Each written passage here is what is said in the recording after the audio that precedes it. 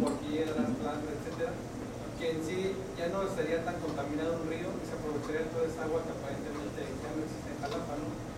Entonces, es lo que estábamos viendo, porque se pueden hacer otros proyectos más locales o por cada colonia o lo que debería dentro de la ciudad, más que gastar grandes inversiones en proyectos así de plantas de Sí, hay alternativas a eso. Sí. Sí. Puedo agregar algo sobre lo del castillo porque me tocó ir hace un año a una visita con eh, la regiduría de medio ambiente del ayuntamiento y con gente de eh, la Secretaría de Medio Ambiente. Entonces, hasta donde yo entendí, bueno, de hecho, el 2% que, no, que falta para el 100% del agua entre Puebla y el Vizquia viene justamente del castillo para algunas colonias de Jalapa. Eh, donde están los manantiales del castillo tengo entendido que el agua está bastante limpia y este es el abasto de, de la laguna del castillo, pero por eh, intereses de la actividad turística, justamente en el estiaje, que es cuando hay una contradicción en que no hay suficiente agua, pero hay agua limpia, que es la que viene de los manantiales, entonces destapan en el otro extremo y permiten el agua de, este arroyo, que no sé cómo se llama, sucio, para subir el nivel del agua. Entonces allí pues se ve bonito, la gente llega, hay más agua, entonces la contradicción entre tener mucha agua pero sucia o tener menos agua y, y limpia. Entonces, eh, pues ese es uno de los problemas que se detectó allí, que no debería darse entrada ahí, porque es un agua que pasa por el pueblo y se viene contaminando, o tratarla y efectivamente utilizarla para que haya más este, agua en la laguna. ¿Estoy en lo correcto? No sé eso. Si, si quieren, les parecería, recogemos varias preguntas, para, porque a lo mejor algunas preguntas van a ser este, repetitivas. Y creo que a esta pregunta tú después tendrías que decir algo, ¿no? Porque anunciaste en tu presentación que había un abasto de nacimiento del castillo. Sí, claro. Muy bien, pero entonces, Elio, por favor. Sí, bueno, este, una pregunta para, bueno, para los de Global Water Watch. Si ustedes tienen información sobre la calidad del agua que está saliendo de las plantas de tratamiento, o si se, han planteado hacer algunos muestreos. Eh, porque, bueno, yo como uno de, esos, de esas personas que paga por el tratamiento del agua, me pregunto por qué nunca nos dan información sobre lo que está pasando, si de veras está yendo el agua limpia. Por lo que tú dices, pues es evidente que tienen muchos problemas para manejar ese tipo de plantas. Pero pues necesitamos tener información como para reclamar. Estaba yo platicando con Luisa, bueno, pues ya tendríamos también que pedirles a través de estos institutos de acceso a la información pues que nos den la información, la hagan pública para saber si de veras vale la pena que nos estén cobrando nos están cobrando. Entonces, pero como ustedes son el único grupo civil que conozco que está monitoreando la calidad, si nos pudieran hacer el favor de pasarnos información o ubicar eh, estos sitios antes y después de las plantas para saber si realmente hay algo que valga la pena de un proyecto, un programa tan caro que endeudó a Jalapa por quién sabe cuántos años que además este, no está dando los resultados. Y también como un comentario nada más, bueno, los felicito porque tenemos desde hace años ya leyes de participación ciudadana, pero mucha gente no se le antoja o está decepcionada de esos espacios. Yo les agradezco también como ciudadano pues que estén ocupando esos pe- pequeños territorios de a metro cuadrado que hay para la participación ciudadana porque si no capaz que los van a derogar tarde o temprano y, y quien vaya a reclamar de, que eso este, pueda servir para algo. Entonces bueno, este, un agradecimiento por que lo que se, lo poquito que se pueda hacer es algo que es interesante. Ahora nos gustaría saber por qué no hay funcionarios aquí, casi nunca vienen, ¿no? Si no se les invita, o vienen nada más a la inauguración, pero es información que ellos deberían de manejar. Son responsables de estas cosas que están pasando y eh, no los tenemos aquí. Tenemos que usar entonces esos pequeños espacios que hay para la participación ciudadana, tener ese nivel de interlocución. Concretamente, ¿ustedes cómo la ven? ¿Qué tanto, eh, qué tan cansados se sienten de estar ocupando estos espacios si los resultados son tan pocos? ¿Y cuál, cuál es la opción para, en un momento dado, hasta para plantear ir por relevos, ¿no? no es nada fácil estar ahí eh, tratando de dialogar con funcionarios que ni siquiera entienden de qué se trata la participación ciudadana. Señor, por favor. Voy a ser muy breve. Primero que nada, felicitar eh, el, trabajo de, la doctora, el trabajo de Taín, el trabajo de Tomás, a quienes afortunadamente conozco trabajo, su trayectoria. Se han tratado temas importantísimos. De hecho, cada aspecto que estaba siendo descrito inmediatamente produce una respuesta en la experiencia que uno tiene respecto a la DAPA. Ha sido muy bien tratado. Desde luego, el planteamiento fundamental de la doctora Luisa Párez, si nos hace o no nos hace falta agua, es algo que debe evaluarse de forma seria.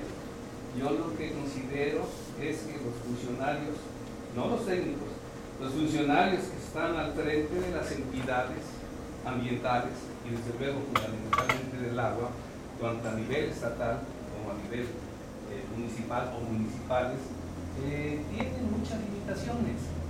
Les voy a decir ahorita en la inquietud que de pronto manifestaba Elio, yo tuve la buena fortuna de 34 años de edad de conocer al ingeniero Luis G. que muchas personas piensan que pudo haber sido familiar, pero no. Pero Luis. Rendón que por cierto el próximo 5 de abril va a cumplir 100 años que se recibió de ingeniero civil en la Ciudad de México y que luego, luego vino a trabajar, la primera obra del Fiscales de 1915, la otra obra del Fiscales de 1942, y él la hizo llevando los materiales en el lomo de mula, y desde luego la captación, el proyecto del río Huitzilapan es también concepción de él en base a toda su experiencia y que algunos tuvimos oportunidad de estar cerca, de conocerlo. Es más, el personaje me vio por el monte de 89 años de edad. Entonces, son cosas muy valiosas y yo pienso que tienen que mantenerse en el caudal de recursos culturales, históricos, que debemos atesorar en esta comunidad, porque eso nos permitiría saber muchas cosas más. Es decir, todas las obras que vemos tienen o tuvieron una razón para que fueran realizados de esa manera. Por ejemplo, lanzar el agua de Río Carneros un a que no era todavía desarrollado, pero que vio el ingeniero Rendón la forma de evitar que la inundación fuera a llegar a los lagos, rumbo a los sauces y todo eso. Entonces, todo tiene una razón. Este, creo que lo que se ha manifestado ahora es una... Fíjense lo que voy a decir, una capacidad inusual de la comunidad a la peña, en este caso tres de sus exponentes, para analizar, para hacer propuestas. Y eso nos va a llevar de manera eh, eh, inevitable, espero que no a la confrontación, pero en donde vamos seguramente a incidir en determinar, en conocer la factibilidad técnica, económica, ambiental, social, política y cultural de la pretendida presa sobre el río Huitzilapan, que después le llamaron los pescados, pero ya ni pescados tienen. Pero que si se recuerdan, sobre todo hace tres años será, tanto con el eh, huracán Cam, como después posteriormente con las avenidas de Matthew, si se llegara a hacer una presa ahí, estaríamos arriesgando perder y todo aguas abajo a una tragedia, a un desastre, a una tragedia. ¿Por qué? porque nosotros estamos en una zona sísmica y precisamente la falla principal que atraviesa todo el país viene a ocultarse aquí en Mocambo, que es la falla Sacamboxo, y que fue la responsable del sismo del 3 de enero de 1920, que por cierto le tocó atender al ingeniero Rendón en aquel tiempo, y luego aquella del 28 de agosto del 73 que destruyó Ciudad Cerdán y todo lo que conocemos. Entonces, desde el punto de vista técnico, no hay ningún análisis de riesgo de lo que pretenden hacer, ni mucho menos de lo que realmente van a hacer. Hay toda una metodología ingenieril desarrollada de hace mucho tiempo cuando se plantea un proyecto de propósitos múltiples, pero que tienen que ser claramente establecidos. Yo no los conozco. En algún momento se me pidió una opinión para ver la forma que podía en algún momento Odebrecht estar por acá. Y lo que yo le planteé a Odebrecht fue muy sencillo. Señores, tenemos demasiados riesgos. Si no pueden enfrentar esos riesgos, olvídense del proyecto. Y la energía era para el proyecto, el proyecto de, de, 21, que antes fue eh, Félix, que antes fue Gavilán, qué sé yo, que son 60 megawatts en la capacidad de la planta con una cortina de 120 metros. Si esa cortina estuviera llena, y sobre todo si es rígida o si es de concreto, y llegara a haber un sismo, matamos a 50.000 gentes, aguas abajo, independientemente de todos los trastornos de carácter ambiental que estarían incidiendo sobre la cuenca del río Huitzilapa. Y es una cosa muy obvia, pero el problema es que tratan de darle la vuelta, y ahí es un problema más grande, diciendo que van a hacer un estudio de impacto ambiental de carácter local, no regional. Y eso lo vamos a tener que exigir, lo vamos a enfrentar como cuando lo enfrentamos, ya van a ser 10 años, yo quería decir, este, con el problema del trazo del libramiento, que se defendió gracias a que trabajó toda la comunidad. Entonces, a mí me emociona mucho escucharlos. El día 5 de abril, como comentaba, según 100 años se recibió Don Luis, Ahora el 7 de marzo se cumplieron 30 años de que falleció, ya desde 1888. Es el único jalapeño que está presente tres siglos en Jalapa y que además funciona. Y hay muchos cuestionamientos, que ello ojalá hubiera quedado por aquí el, el este, funcionario del ayuntamiento, que es un joven valiosísimo, o bien los diputados que andan aprobando este de situaciones porque el problema es que no tienen ni pista de conocimiento de lo que está involucrado de daño potencial a la comunidad de Jalapa. Entonces, creo que se está en el camino correcto. Felicito Ciesas de, de esta oportunidad para todos nosotros, pero por otro lado, creo que hay que pasar la organización al siguiente nivel. Y esa ya es una organización en donde se va directamente a incidir sobre la política pública que está prevaleciendo el director de Conagua, Corefer, él ha expresado repetidamente en los últimos dos meses de que se va a revisar cómo es se conciben, se autorizan y se permite al final de cuentas la construcción de nuevas obras, pero aquí lo que tenemos que ver nosotros ahora sí que para la vertiente volcánica, es que tengamos la absoluta seguridad de que no va a pasar nada incorrecto. Y eso no lo pueden asegurar en este momento. Y por otro lado, olvídense con los 600 millones de pesos que se perdieron y que se siguen pagando con el PIS, porque ahora tendríamos encima una deuda mucho mayor por la asociación que se pretendería hacer con el grupo, eh, con el grupo brasileño. Entonces todo esto es lesivo para Jalapa, pero lo están ocultando todo el tiempo. Eso es lo que hemos nosotros enfrentado, como lo estamos enfrentando con la eh, eh, pretendida ampliación de Veracruz en, en Playa Norte, con muchas de esas cosas que en realidad, o la minera, que también, como si fuera propiedad particular este enorme y extraordinario recurso potencial o real de Veracruz para que lo estén vendiendo o bien estén queriendo aprovecharlo para impulsarse un diezmo o dos diezmos, dependiendo del funcionario, que va a lesionar a la comunidad jalapeña. El trabajo de ustedes es valiosísimo para poderlo, para poderlo entonces, los felicito nuevamente y espero incluso que se planteara algún otro tipo de reunión en donde pudiéramos, lo que existe, lo que decía, bueno, ¿y dónde están los funcionarios? Perdón, si estas personas no, atienden lo que deben atender, Esa es una omisión que está sancionada por las leyes. Es decir, ya no podemos seguir jugando con el futuro de, vamos a decirlo así, de nuestras familias y de Galapa, de nuestros recursos, aun a pesar de lo que hagamos. Entonces hay que pasar a otro nivel de organización. Y ahora va a haber la coyuntura en las próximas semanas y meses, que por cierto se tiene que mantener, porque al final de cuentas, don Luis Serrentón, de 89 años, habiendo construido el Disquial, diversas eh, obras obviamente, que son las que sostienen la Jalapa el 70%, caray, que confiar en un joven de 30 años, de 30 y tantos años, porque aparentemente no le hacían caso el gobernante o los gobernantes de Veracruz. Y él había resuelto en el 42, Dios santo, es increíble, hace 70 años. Nos parece que estamos repitiendo, repitiendo un modelo de, yo diría, de, sostallo o de desprecio social. Y déjenme decirles, sí hay técnicos capacitados, calificados obviamente en este ambiente, incluso gente de CNA que está en desacuerdo con la presa de, llamada Río de los Descansos, o con ir a traer el agua allá a los acuíferos de, de Perote, de Sarayeta. Este, obviamente no hace falta. Pero además, ¿saben una cosa? Eso lo dijo Don Luis hace 40 años. Eso no va a alcanzar, esto no es así, etc. Entonces, creo que es importante hacer mayor divulgación o difusión, sobre todo del trabajo. Quizás ya hay un, nuevo libro, pero que pasemos a otra dimensión, en donde tengamos la capacidad de incidir.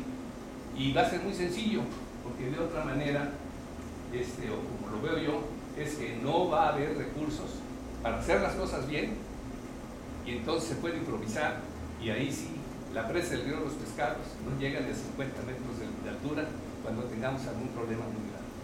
Entonces, esa es mi opinión, los felicito nuevamente, se los agradezco. Tomás, excelente indagación sobre, sobre todos estos eh, cauces vivos o que quieren matar. Y también tu trabajo de búsqueda, de precisión, a mí me parece excelente. Yo te ofrezco toda la información que yo poseo para que se pueda ir reforzando. Y Luisa, ¿qué más puedo decir con esa enorme capacidad y compromiso? Gracias. Sí, estaba primero tú o ya no. Este, era nada más una, una, aclaración de que parte de los manantiales que surten al castillo son, es el agua que se, no entra al, al lago del, eh, del, castillo, sino se va a surtir a las ánimas. Y ahí se surte una buena cantidad. Y el movimiento que se hace de esas presas es precisamente para limpiar el lirio.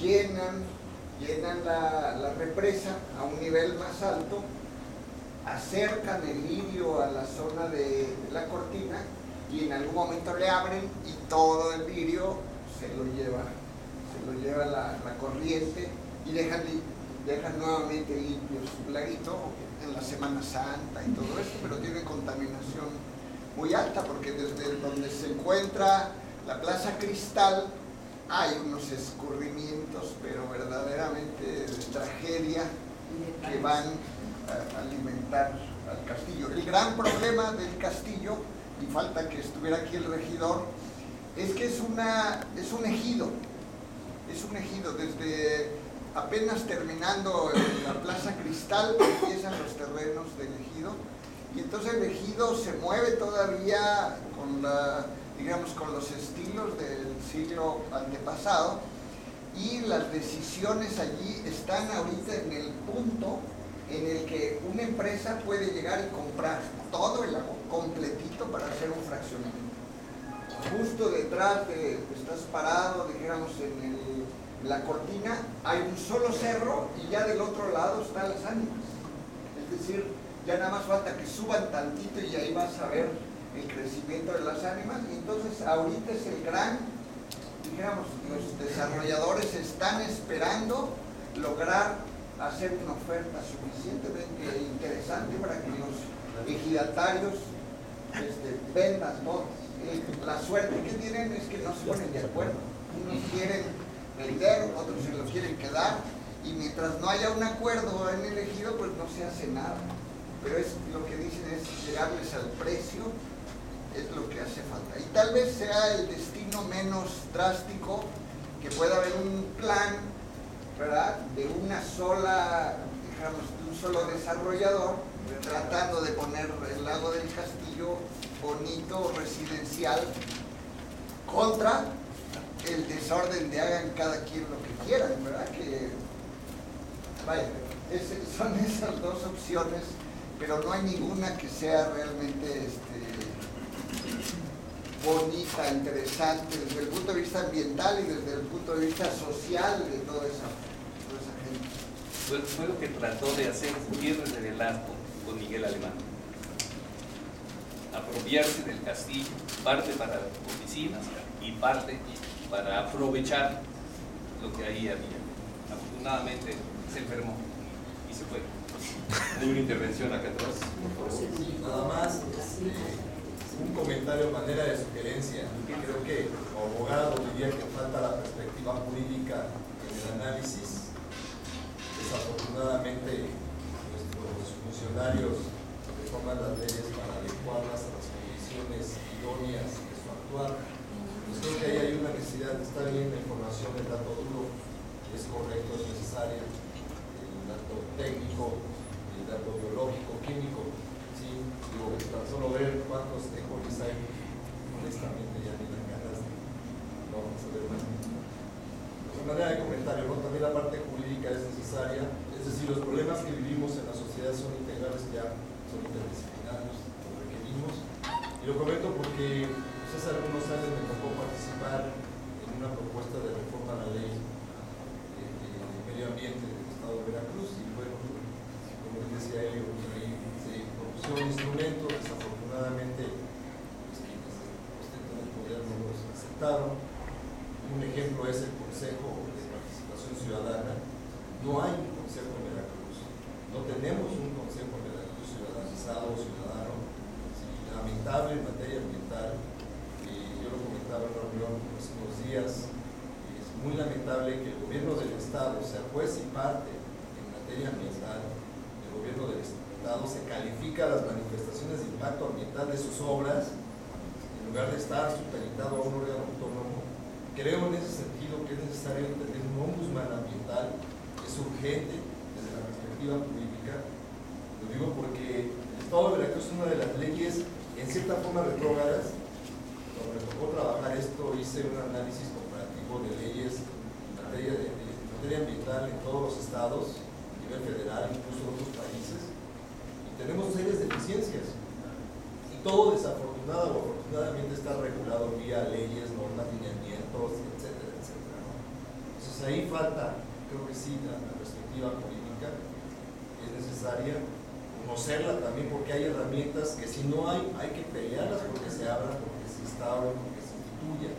La sociedad no podemos quedar al margen y podemos quedar aislados, son problemas que nos competen ya no solo al gobierno, sino a nosotros en lo particular, en lo individual y en lo. Creo que hay que entrarle duro por ahí. Y otro elemento más es que eh, desafortunadamente eh, uno de, los elementos que prevalece en, la planeación es lo urbano. Lo digo porque esta es una discusión que nosotros tocó darla muy duro. O sea, no se ve la perspectiva ambiental, prevalece la perspectiva urbana por encima de todo lo demás, es decir, la visión económica.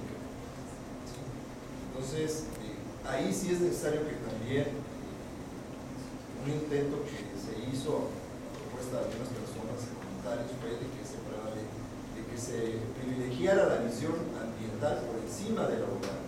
Y esto nos permitirá ir hacia áreas eh, eh, de alguna forma acordes para el desarrollo urbano, que es algo que va, es, es inevitable en las, de las ciudades que crezcan, pero con una visión ambiental urbanística, por decirlo de alguna forma.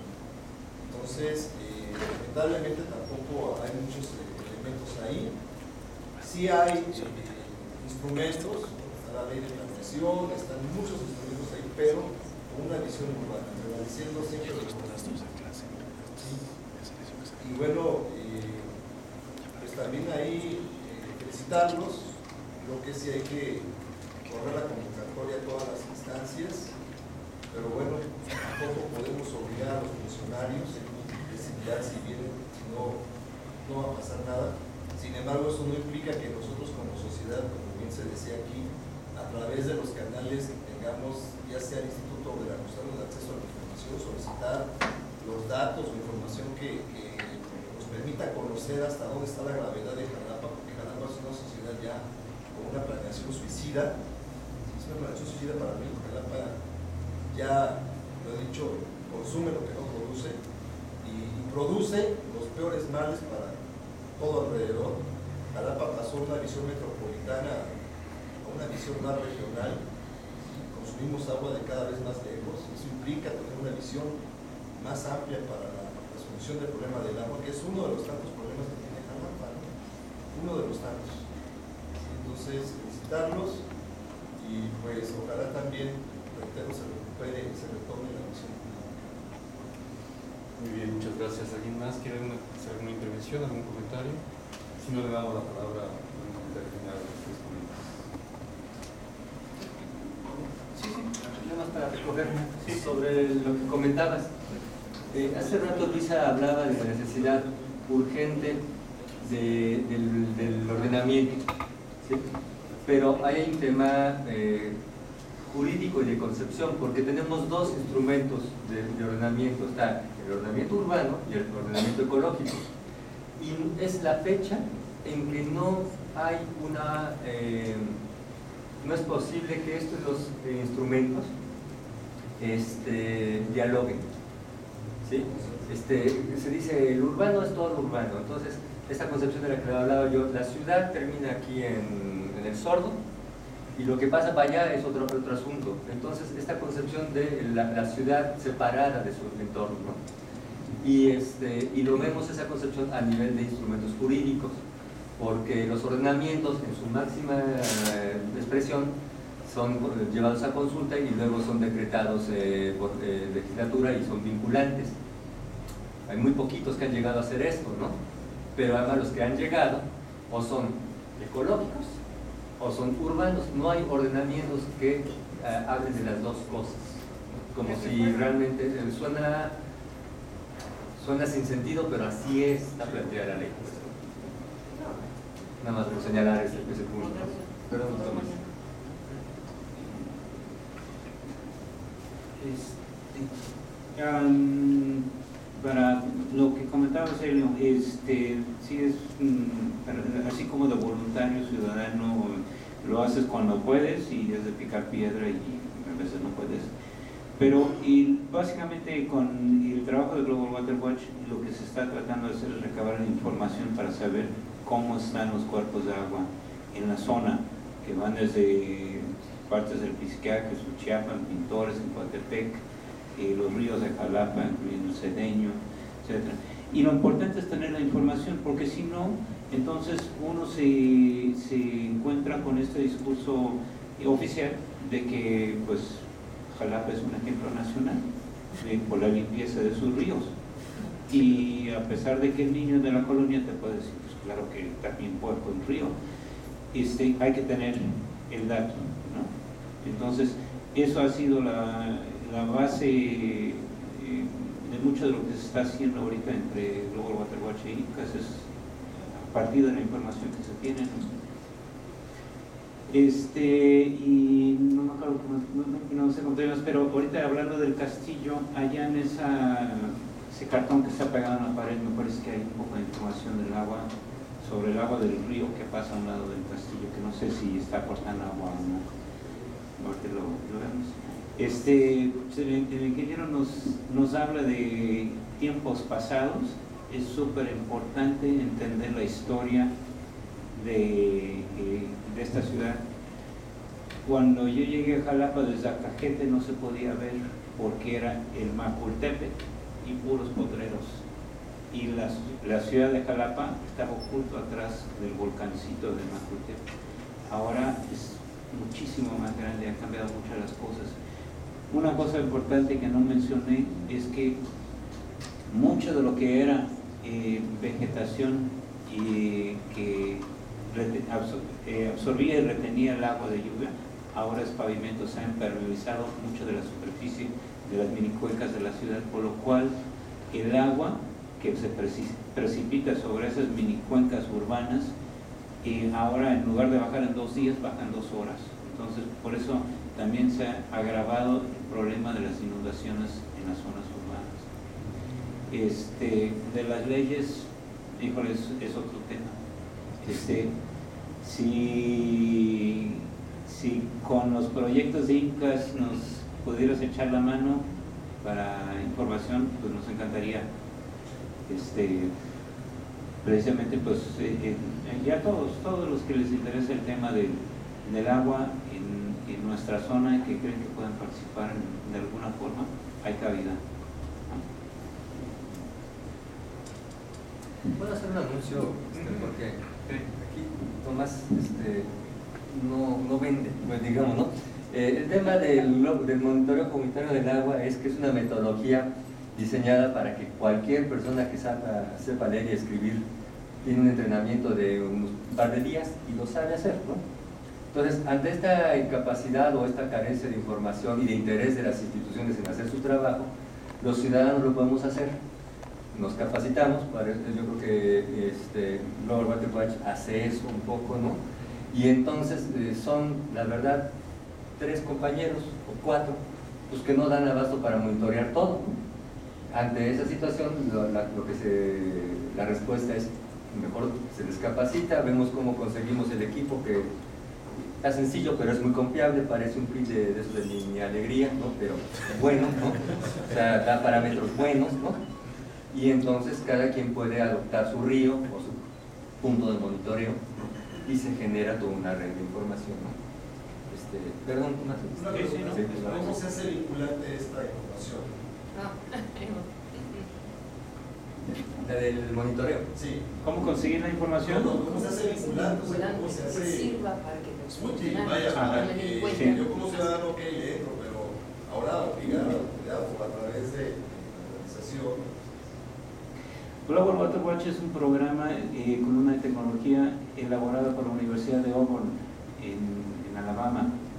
Eh, para, lo hicieron para monitorear la calidad de agua en su zona y luego se encontraron con que se volvía interesante saber la calidad del agua de todo el mundo. Entonces están manejando ahorita un banco de datos de información y están proporcionando la, la- están facilitando la capacitación de los monitores y facilitando los equipos de alguna manera para que se pueda hacer el monitoreo. Se hace en varios países del mundo. En México, eh, Eduardo sabría bien, pero creo que se han ya eh, capacitado unos 700 monitores. Aquí en la zona de Acalapa eh, y anexas, ha de haber quizá unos, ¿qué serán? Unos 10, 12 monitores activos, algo por el estilo, que están recabando información. Esa información va a la Universidad de, de pero obviamente pues interesa a los que vivimos aquí. Por eso eh, eh, varios hacemos estos como reportes que compartimos con la ciudadanía que les puede interesar. Los que yo hago sobre el sordo y el carneros, este, los, los imprimo y se pegan ahí en, la, en el puesto de garnachas, en la ferretería, en, el salón de belleza, para que la gente sepa en qué condiciones está ese río a donde van a bañarse a veces, o lavar su coche, o el río que se desborda y que inunda sus casas y sus negocios. Em, de ahí a que haya una, una acción ciudadana cambiar la situación, ha sido muy difícil, muy frustrante. La gente como que dice, bueno, pues así está y yo qué voy a hacer. Sienten que, que o sea, no hay un sentido, a, mi parecer no hay un sentido democrático eh, porque la gente no siente que es eh, su río, es el drenaje que le están echando al, río, es su drenaje, el espacio, la falta de, control del gobierno, es la falta de control de su gobierno. Entonces, pues, por ahorita no queda más que seguir recabando la información, compartiéndolo con quienes les interese, este, que la gente se vaya formando una opinión. Pues, muchas ideas van saliendo con todo lo que han comentado todos Voy a empezar con esta última del monitoreo. Eh, yo asistí a una primera explicación de Global Water Watch y me acuerdo una cosa que decían, es que es una herramienta que está accesible a cualquiera y que su objetivo es empoderar al ciudadano. Bueno, en Estados Unidos, bueno, para empezar es un método muy eh, básico, pero reconocido como válido por la EPA. Entonces ahorita aquí en México se busca que se marna, porque si tú vas a Conagua y le pides que te hagan un monitoreo, te dicen que no tienen reactivos. Entonces te hacen un modelaje de que como hace 20 años era así, hace 5, entonces en 15, y te lo hacen en el escritorio. Entonces sí necesitas algo rústico de 300 dólares que funciona, pero vinculante quiere decir eso, que reconozcan y que lo certifiquen. Creo que el grupo está en eso. Em, pero aquí, ese es el problema, lo que acaba de decir. Tú te das por vencido antes de emprender la lucha, porque eso del empoderamiento ciudadano, hasta puedes ganar unas elecciones y las pierdes.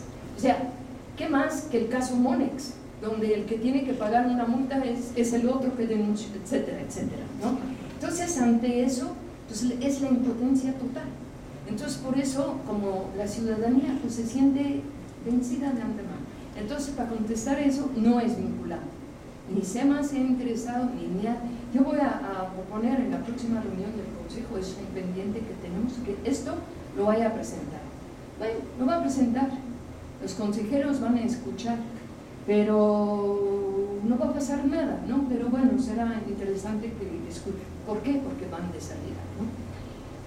No, y aunque fueran, estuvieran de entrada, sería la misma situación. ¿no? no me puedo, no puedo abundar sobre esto porque saben todos ustedes lo que padecemos. ¿no? Bueno, sobre eh, lo que decía este, el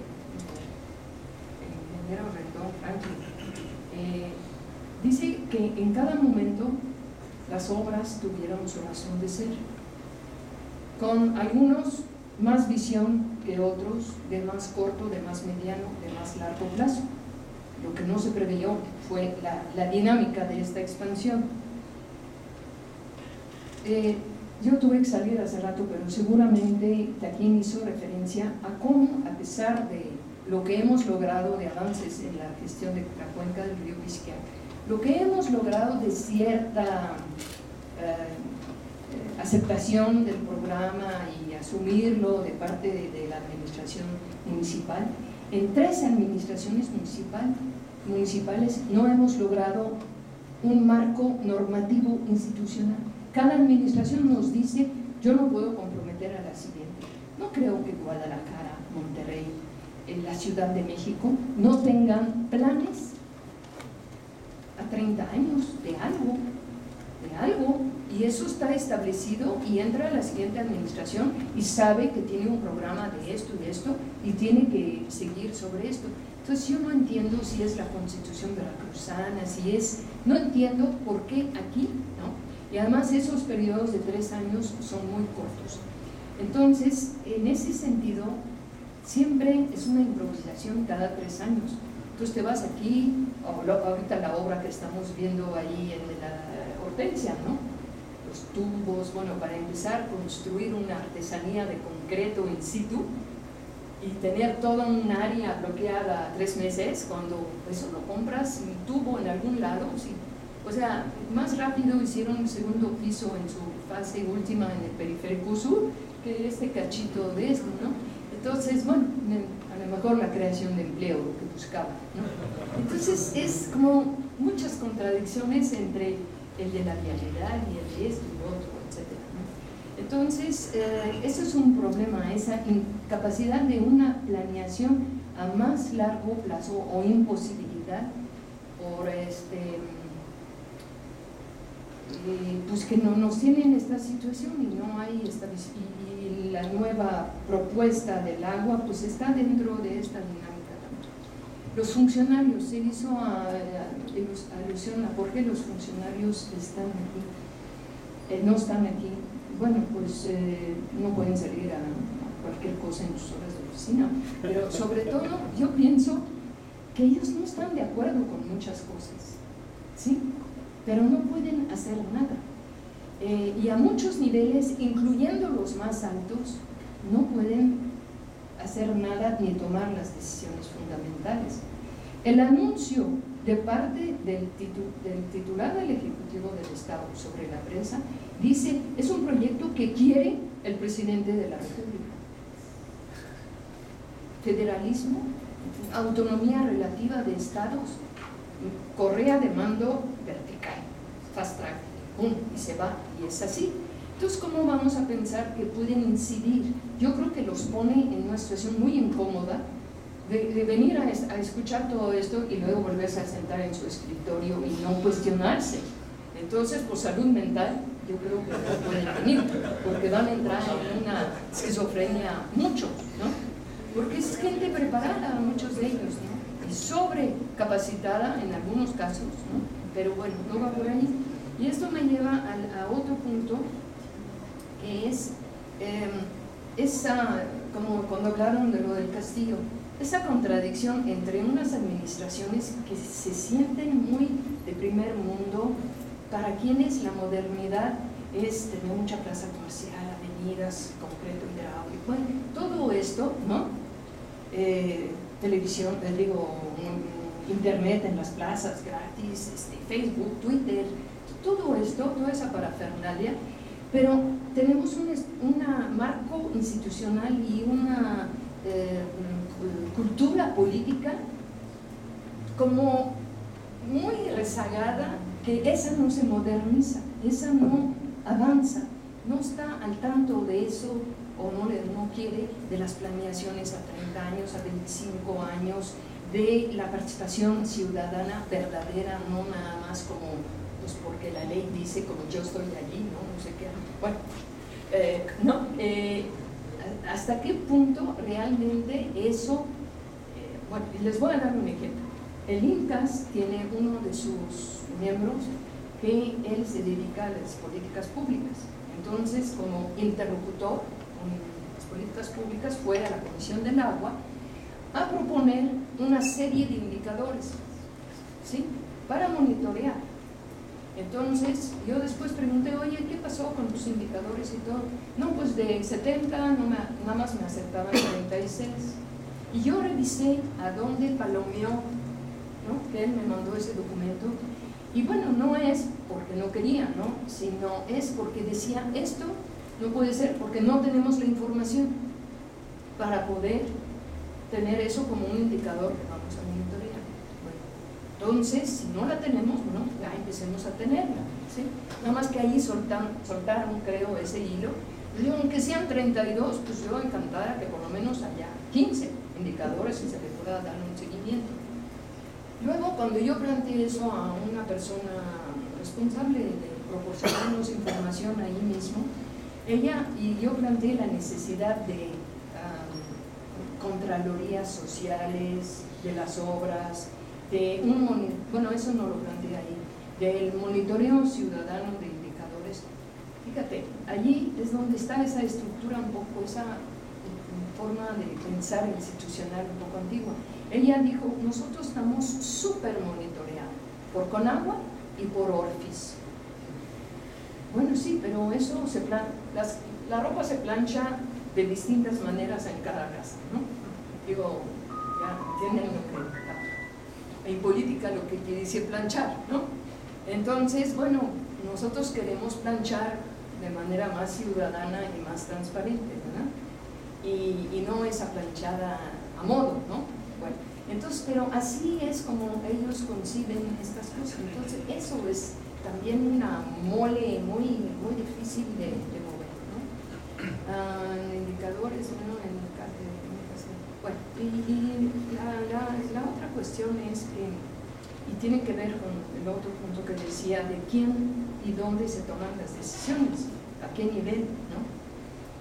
Este tema del agua del río Huitzilapa, ¿no? Para propósitos múltiples, algunos todavía que no sabemos muy bien cuáles son, medio reservados, creo que esto nos lleva a otro nivel de, de organización, bien decía, em, en el sentido de que ya no es un asunto metropolitano, no es un asunto de conurbación, no es un asunto de región, es un asunto de globalización y de geopolítica del agua. Es decir, eh, los- las más grandes reservas del agua del mundo, las del triángulo ahí, del Paraná, del, del, Paraguay, sí, los que bajan allí al río de la Plata, esta parte, ¿cómo le llaman? El, el el acuífero guaraní, la, la reserva más de, de agua dulce más grande del mundo. Bueno, ya son las corporaciones multinacionales que ya han decidido que eso es para cultivar soya, que esto es para la minería, que esto es para las hidroeléctricas, y es eso allá y en todas partes del mundo. Entonces ya de repente esa es una forma de privatización del agua, de nuestros recursos, de nuestros territorios, y entonces, bueno, o tienes una forma, bueno, aquí nuestro amigo Paulo va llegando de Brasil, creo que Brasil es, yo diría que es un poquito menos neoliberal que aquí, no sé, ah, o no se diga Bolivia, ¿no? Pero al final de cuentas están dentro de la senda esa del extractivismo, porque es la que les permite eh, desarrollar sus políticas sociales, eh, reequilibrar un poco lo, pero aquí no creo que eh, reequilibrar sea para eso, porque aquí se lo llevan en carabelas tal cual sin dejar nada aquí, ¿no? Porque, digo, la correlación de fuerzas políticas es distinta entre estos países y acá.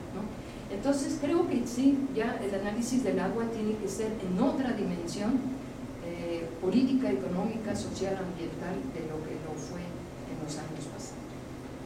Perdón por echarme una segunda intervención. Muy bien. Pues muchísimas gracias.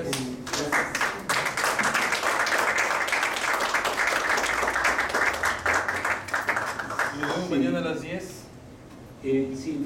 Eh, si a alguien le interesa lo del tema de, del equipo de Global Water Watch, ahí hay